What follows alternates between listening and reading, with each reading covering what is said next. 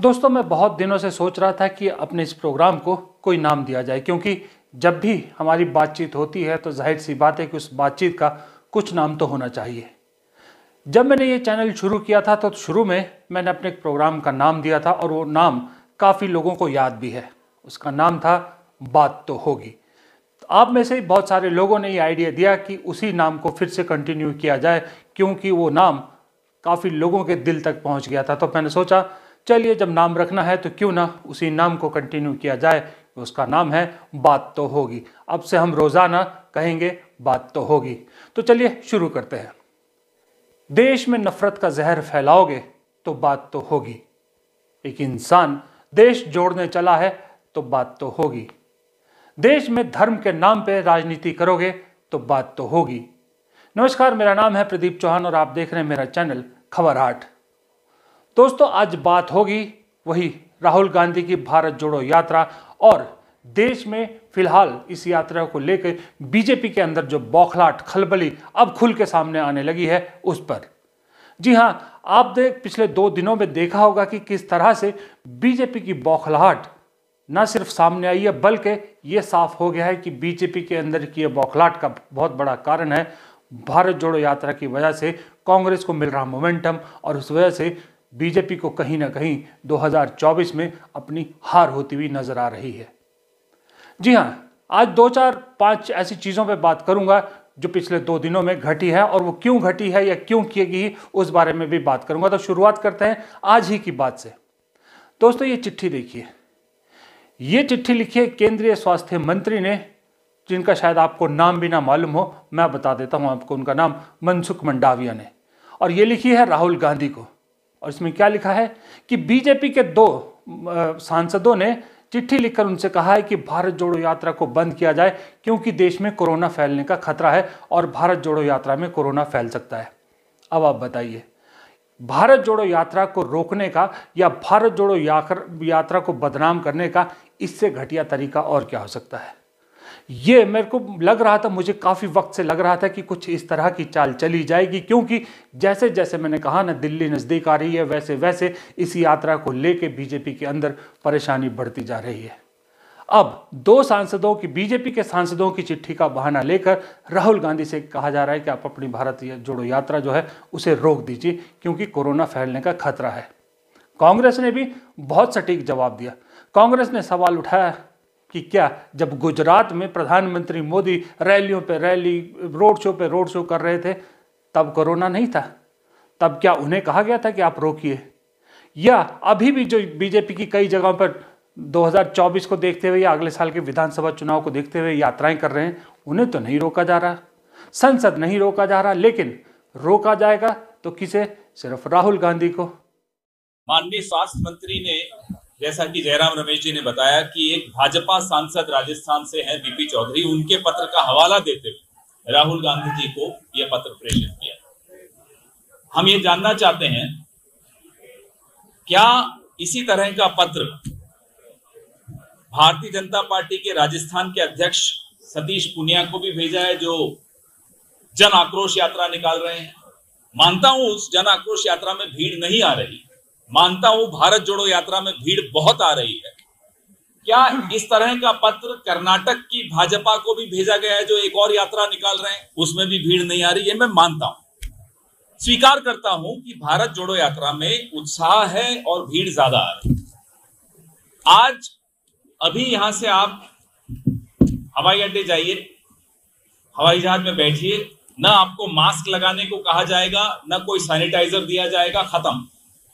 क्या भारत सरकार ने नियमों का की कोई घोषणा की है? कोई प्रोटोकॉल की घोषणा की है? क्या संसद का सत्र स्थगित कर दिया गया है? फ़िज़िकल जो चल रहा है, कि वो भी ऑनलाइन होगा? तो भारत सरकार को सिर्फ़ राहुल गांधी दिख रहे हैं, भारत सरकार को सिर्फ़ कांग्रेस पार्टी दिख रही है, भारत सरकार को सिर्फ़ भारत जोड़ो यात्रा दिख रही है। और कोई यात्रा नहीं दिख रही, और कोई भीड़ जहाँ हो रही है, वो नहीं दिख रहा। हम नियमों का पालन करेंगे बशर्ते आप नियमों की घोषणा करें।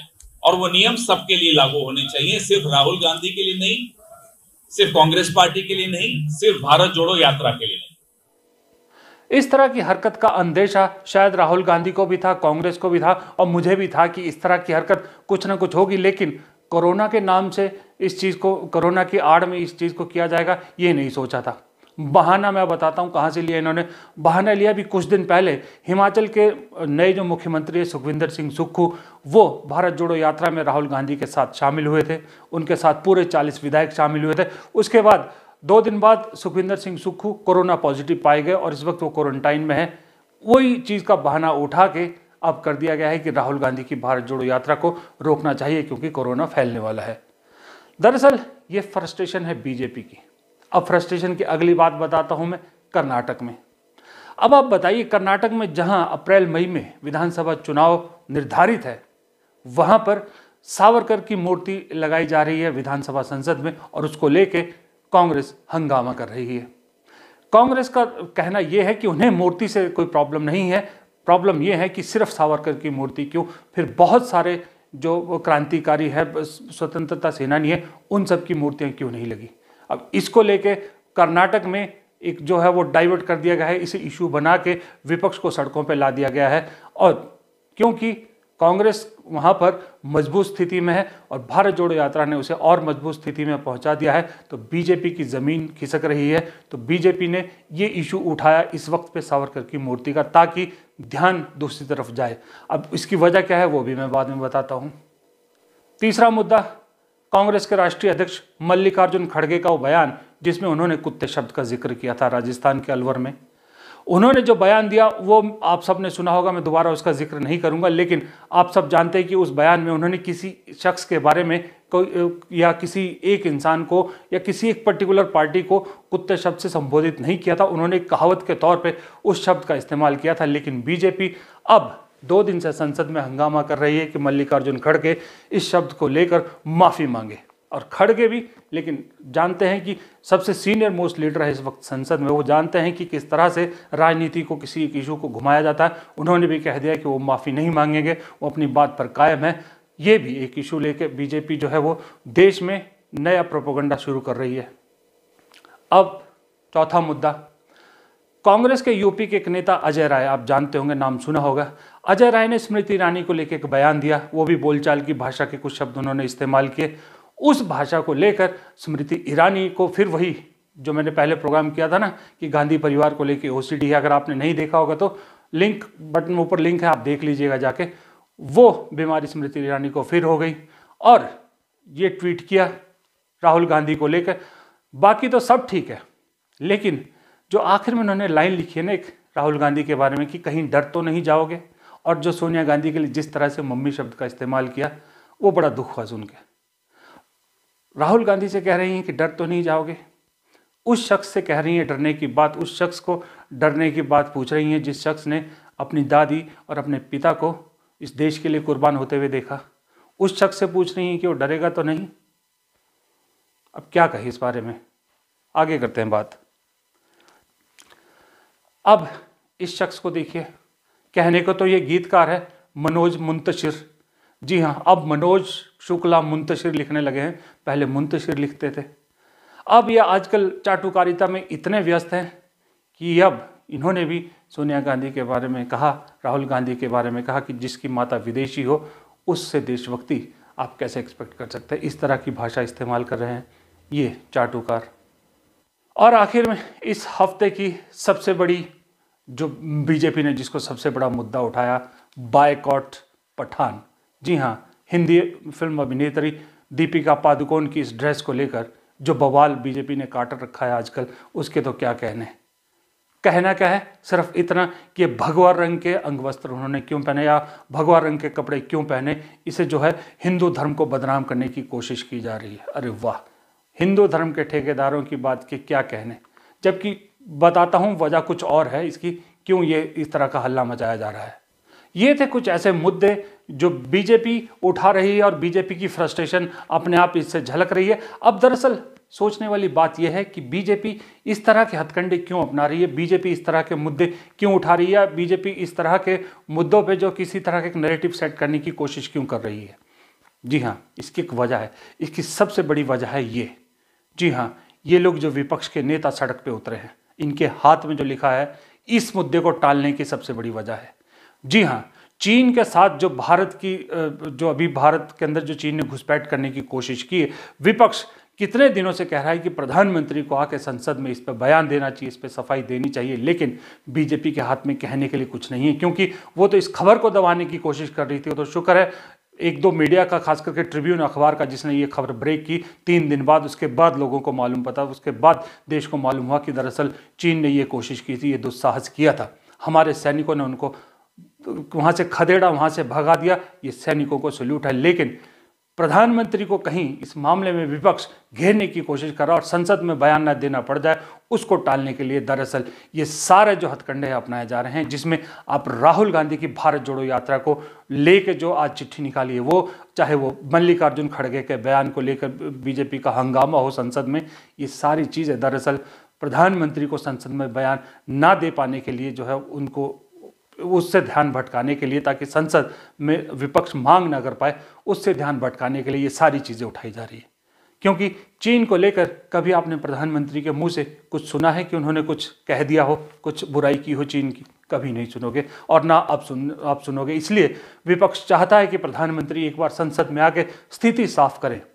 सिर्फ़ रक्षा मंत्री से नहीं चलेगा, विदेश मंत्री से नहीं चलेगा, प्रधानमंत्री को आके भाषण देना पड़ेगा सफ़ाई देनी पड़ेगी, ये विपक्ष की मांग है। और विपक्ष आज इसी मांग को लेकर सड़क पर उतरा।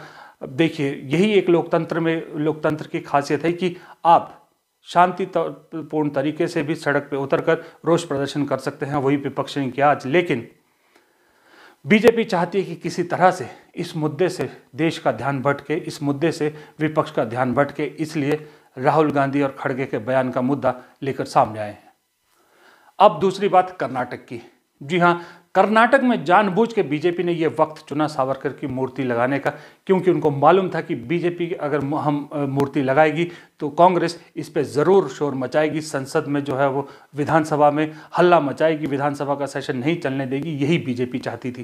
क्योंकि आपको मालूम है कि अभी राहुल गांधी की यात्रा वहाँ से गुजरी थी और राहुल गांधी ने पुरजोर तरीके से जो नाम दिया कि चालीस की सरकार, उसमें कोई झूठ नहीं है। सब जानते हैं कि कर्नाटक की सरकार इस वक्त बदनाम है 40 परसेंट कमीशन के लिए 40 परसेंट की सरकार का तब्बा उस पर लग चुका है और तीन महीने बाद, चार महीने बाद विधानसभा चुनाव में जाना है। तो लोगों का ध्यान भटकाने के लिए, नया नेरेटिव गढ़ने के लिए बीजेपी ने जानबूझ के इस टाइम पे सावरकर की मूर्ति लगाकर यह मुद्दा खड़ा किया। और साथ ही येदुरप्पा, जो बीजेपी के पूर्व मुख्यमंत्री और लिंगायत के सबसे बड़े नेता है, उन्होंने भी अभी दो तीन दिन पहले धमकी दी थी कि येदुरप्पा को ख़त्म करना इतना आसान नहीं है। उन्होंने इशारों इशारों में बीजेपी की हाईकमान को कह दिया था कि अगर सोच रही पार्टी की उन्हें साइडलाइन किया जाए तो इतना आसान नहीं है। येदुरप्पा फैक्टर को भी, उसको भी डाउन करने के लिए ये सारा खेल रचा गया है। कर्नाटक पे एक बात और है। कर्नाटक में, देखिए, कर्नाटक में बीजेपी को ये मुद्दा उठाना इसलिए भी ज़्यादा ज़रूरी हो गया था क्योंकि जिस तरह से कहा जाता है कि गुजरात हिंदुत्व की पहली प्रयोगशाला है, उसी तरह दक्षिण में कर्नाटक को हिंदुत्व की प्रयोगशाला बना रहा है संघ और बीजेपी। और कर्नाटक एकमात्र राज्य है जहाँ बीजेपी की कुछ जड़ें हैं। अगर कर्नाटक से भी बीजेपी की जड़ें कट गई तो समझ लीजिए दक्षिण भारत से बीजेपी का सफाया हो जाएगा। तो बीजेपी किसी भी हाल में नहीं चाहती कि दक्षिण भारत में उसका रास्ता बंद हो जाए और उसकी जो दूसरी प्रयोगशाला है, वहाँ पर वो बंद हो जाए। तो इसलिए किसी भी हालत में चाह रही है कि जो असल मुद्दे हैं, जो असल समस्या है कर्नाटक की, वो किसी भी तरह कांग्रेस लोगों तक ना पहुँचा पाए और मुद्दों को डाइवर्ट किया जाए, लोगों का ध्यान डाइवर्ट किया जाए, ये एक भी एक बहुत बड़ी एक्सरसाइज कर्नाटक में आजकल की जा रही है।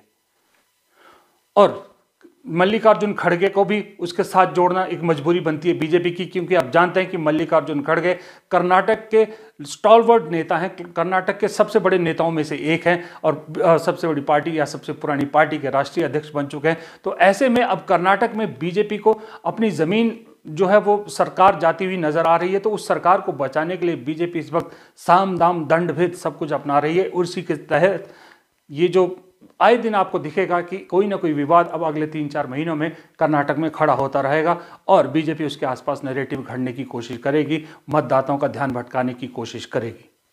अब मैडम स्मृति ईरानी पे आते हैं। मैडम स्मृति ईरानी को बहाना चाहिए राहुल गांधी पे हमला करने के लिए, गांधी परिवार पे हमला करने के लिए। अब वो जो ट्वीट के ज़रिए दरअसल कह रही हैं कि राहुल गांधी डर तो नहीं जाएँगे, आप खुद सोचिए, आदमी कौन कहता है कि डरोगे तो नहीं, ऐसी बातें कौन करता है? दरअसल जब युद्ध होता है या कोई आपस में रेसलिंग होती है, लड़ाई भी होती है, चाहे गली मोहल्ले की लड़ाई होती है, ज़्यादा डरने की बातें वो करता है जो असल में खुद डर रहा होता है। वो उसको लगता है कि ऐसी बातें करके दूसरों पे जो है प्रेशर बनाएगा, लेकिन असल, असलियत ये होती है कि वो खुद डर रहा होता है, इसलिए बार बार दूसरे से कहता है कि डर तो नहीं रहे डर तो नहीं रहे यही स्मृति ईरानी के साथ हो रहा है। दरअसल उनकी इस वक्त ज़मीन बिल्कुल खिसक चुकी है कि उनको लग रहा है कि राहुल गांधी को जो मोमेंटम जो प्यार, जो जन समर्थन मिल रहा है इस यात्रा में, उसको देख के उन्हें लग रहा है कि अमेठी वाले जो अभी से वहाँ पर उनके गुमशुदगी के पोस्टर या उनके खिलाफ जो पोस्टर लगने शुरू हो गए तो उनको ये तय हो गया कि 2024 में उनकी राजनीतिक ज़मीन तो अमेठी से ख़त्म हो रही है। तो ऐसे में वो किसी न किसी तरह चाहती है कि राहुल गांधी अमेठी ना लौटे ताकि उनके पास एक ज़मीन बनी रहे। डर सीधा ये है कि अगर राहुल गांधी आ गए तो हारना तो तय है हो सकता है कि इस बार जमानत भी ना बचे। ये स्मृति ईरानी का डर है, इसलिए बेचारी डर में ऐसी हरकतें करती हैं। अब वो बात एक गीतकार साहब थे, मनोज मुंतशिर, उनकी क्या बात करूँ? अब वो तो उनके बारे में कुछ बोलना ही बेकार था, क्योंकि मैंने वैसे ज़िक्र किया उनका, वैसे ज़िक्र करने लायक भी नहीं है, क्योंकि दो साल पहले तक तो वो कहा करते थे कि मुग़लों की शान में कसीदे पढ़ा करते थे, कहते थे कि अगर इलाहाबाद का नाम बदल के प्रयागराज कर दिया गया तो मुझे ऐसे लगेगा, मेरी नाम, मेरी माँ का नाम बदल दिया गया और आज वही इंसान हिंदुत्व के भाषण देता है। खैर, इनके बारे में क्या ज़िक्र करें? बात ज़िक्र करते हैं दीपिका पादुकोण और शाहरुख खान की फ़िल्म पठान की। जी हाँ ये शख्स है ना, ये गृह मंत्री हैं, नरोत्तम मिश्रा, मध्य प्रदेश के गृह मंत्री है। इनके पास अपने काम दिखाने का कुछ नहीं है। इसलिए जब जिस दिन देखे हिंदुत्व का झंडा उठा कर बॉलीवुड एक्ट्रेस के पीछे पड़ जाते हैं, बॉलीवुड एक्ट्रेस के पीछे पड़ जाते हैं। कहने को तो ये गृह मंत्री है, लेकिन ये कभी ये नहीं बताएँगे कि नेशनल क्राइम रिकॉर्ड ब्यूरो के लेटेस्ट आंकड़ों के हिसाब से जो दुष्कर्म होते हैं महिलाओं के खिलाफ, उसमें मध्य प्रदेश भारत में नंबर टू पे है, और वो इन्हीं का डिपार्टमेंट के अंडर आते हैं। ये नहीं बताएँगे लेकिन भगवा रंग अगर कोई पहनेगा तो उसके खिलाफ झंडा लेके खड़े होंगे। कुछ भी हिंदुत्व को लेके किसी फ़िल्म में, कुछ भी किसी भगवान का कोई ज़िक्र है, जो इनकी पसंद के एक्टर नहीं है, वहाँ ये झंडा लेके खड़े हो जाएँगे। लेकिन इन्हीं शख्स ने, भाई साहब, जिन्होंने ये दीपिका पादुकोण वाला जो मुद्दा है, ये इतना फैला दिया, इतना जहर फैला दिया पूरे देश में, कि बाइकआउट पठान बाइकआउट पठान के चक्कर में पूरे देश में लोग पागल हुए जा रहे हैं। इनको ये नहीं दिखती। कंगना रनौत इन्हीं की पार्टी की सपोर्टर है ना? देखिए, अपने एक शो में पैरों के नीचे भगवा रंग जो है वो किस तरह से दबा रखा है, इस पर इनको कोई दिक्कत नहीं है। इन्हीं की अपनी पार्टी के सांसद, रिंकिया के पापा, जी हाँ वो देखिए अपनी फ़िल्मों में कैसे भगवा रंग का इस्तेमाल करते हैं, ये इन्हें नहीं दिखता। चलिए, इनको भी छोड़िए। अब ये भाई साहब देखिए, मिस्टर आम कुमार, जी हाँ ये वही आम कुमार हैं जो प्रधानमंत्री मोदी का इंटरव्यू लेते पूछते हैं कि आप आम चूस के खाते हैं कि काट के खाते हैं। इनकी फ़िल्म में देखिए, ये भगवा रंग भगवा रंग तो छोड़िए, उसके ऊपर क्या लिखा है इनकी शर्ट्स पे? इनकी कमीज़ों पे लिखा है, कुर्तों पे लिखा है, हरे राम, हरे कृष्णा, खुद के कुर्ते पे लिखा है, ओम नमः शिवाय। अब अगर आपने ये गाना नहीं देखा हो ये फ़िल्म है हेरा फेरी वन। हेरा फेरी जो पहली हेरा फेरी थी, उसका गाना है, गाने का नाम है हरे राम, हरे कृष्णा। आप कभी, अगर आपने नहीं देखा तो यूट्यूब पे देखिएगा ज़रूर। इस फ़िल्म में जितने भद्दे तरीके से ये कपड़े, गेरुए रंग के कपड़े और जो वो एक साधु संतों वाले कुर्ते होते हैं हिंदुस्तान में मिलते हैं जिसमें हरे राम, हरे कृष्ण लिखा होता, वो कितने भद्दे तरीके से पहने गए हैं। उससे भद्दे शायद आपने किसी फ़िल्म में नहीं देखे होंगे, लेकिन ये बीजेपी वालों को नहीं दिखता। क्यों नहीं दिखता? क्योंकि कंगना रनौत हो, चाहे ये हो, चाहे मिस्टर रिंकिया के पापा हो, ये बीजेपी के पत्तल चाट हैं। जी हाँ पत्तल चाट कहूँगा। भक्त हैं। ये नहीं दिखते, दिखती है। दीपिका पादुकोण। क्यों दिखती है? क्योंकि दीपिका पादुकोण जो है इस सरकार के खिलाफ बोलती है। दिखते हैं शाहरुख खान। क्यों दिखते हैं शाहरुख खान? क्योंकि सब जानते हैं कि शाहरुख खान की गांधी परिवार से नज़दीकी है। गांधी परिवार जो है उन्हें पसंद करता है, इसलिए शाहरुख खान को टारगेट किया। पहले आपने आमिर खान को टारगेट किया, क्योंकि दोनों के नाम के आगे खान लिखा है। दिक्कत ये है, अगर शाहरुख शर्मा या आमिर खान की जगह अक्षय कुमार होते उस फ़िल्म में, तब बाइकआउट नहीं होता। क्योंकि दोनों के नाम के आगे खान लिखा है और दोनों की नज़दीक गांधी परिवार से भी मानी जाती है। इसलिए आपको उनसे दिक्कत है, इसलिए आप जो है बाइकआउट कर रहे हैं उनका और उनकी फ़िल्म को बर्बाद करने पर तुले हुए हैं। इनफैक्ट उनकी फ़िल्म क्या पूरी इंडस्ट्री को बर्बाद करने पर तुले हुए हैं, इसलिए हाल ही में ना सिर्फ़ शाहरुख खान ने इसके खिलाफ आवाज़ उठाई, बल्कि सदी के महानायक अमिताभ बच्चन तक ने इसके बारे में आवाज़ उठाई, लेकिन इनको कोई फ़र्क नहीं पड़ता। इनका तो एक ही काम है कि बाइकआउट बॉलीवुड बर्बाद कर दो। एक देश की सबसे बड़ी इंडस्ट्री को, दुनिया के सबसे बड़ी इंटरटेनमेंट इंडस्ट्री को बर्बाद कर दो। दरअसल ये सारी चीज़ें क्या दिखाती हैं? ये सारी चीज़ें दिखाती हैं कि जो राहुल गांधी की भारत जोड़ो यात्रा से कांग्रेस खड़ी हो गई है, कांग्रेस चर्चा में आ गई है, जो मैं रोज़ कहता हूँ कि अब चौक चौबारे पर, गली चौराहे पर कांग्रेस की बातें होने लगी हैं। चाहे उस राज्य से भारत जोड़ो यात्रा गई हो, चाहे नहीं गई हो, उस पर हिमाचल की जीत ने और बढ़िया काम किया है, सोने पे सुहागा का काम किया है। ये चीज़ बीजेपी को बहुत बुरी तरह से चुभ रही है। उनकी अपनी रिपोर्ट्स कह रही हैं कि कांग्रेस की जड़ें बहुत मज़बूत हो रही हैं और जहाँ जहाँ कांग्रेस बीजेपी की सीधी फाइट है, वहाँ वहाँ बीजेपी को नुकसान होने वाला है।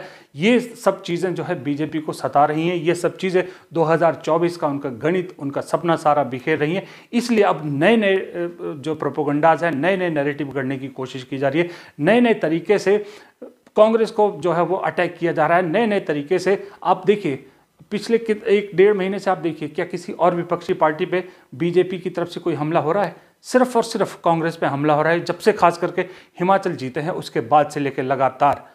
सिर्फ़ कांग्रेस निशाने पर राहुल गांधी निशाने पर है, सोनिया गांधी निशाने पर है, भारत जोड़ो यात्रा निशाने पर है, या फिर खड़गे निशाने पर क्यों?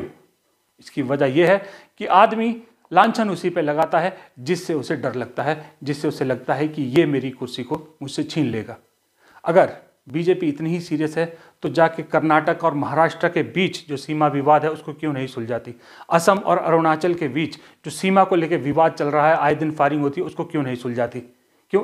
चारों के चारों राज्यों में सरकार तो आपकी है, असम में आपकी है, महाराष्ट्र में आपकी सरकार है, अरुणाचल में आपकी सरकार है, कर्नाटक में आपकी सरकार है, आपकी अपनी सरकारें आपस में सीमा विवाद को लेकर लड़ रही हैं, वो तो नहीं सुलझाते आप। लेकिन देश को बेवकूफ़ बनाने के लिए, देश को गुमराह करने के लिए ये बायकॉट हो गया, या ये कुत्ता शब्द का लेके हो गया, या कोरोना के नाम पे नए नए नैरेटिव गढ़ने की कोशिश कर रहे हैं और लोगों को बेवकूफ़ बनाने की कोशिश कर रहे हैं। और इसीलिए मैं कहूँगा कि अगर लोगों को बेवकूफ़ समझने की कोशिश करोगे तो बात तो होगी। और जब बात होगी तो दूर तलक जाएगी। नमस्कार, प्रदीप चौहान को दीजिए इजाज़त। उम्मीद करता हूँ आपको मेरा वीडियो पसंद आया अगर पसंद आया तो मेरे चैनल को लाइक, शेयर और सब्सक्राइब ज़रूर कीजिएगा और हाँ कमेंट बॉक्स में जाकर कमेंट ज़रूर कीजिएगा। धन्यवाद।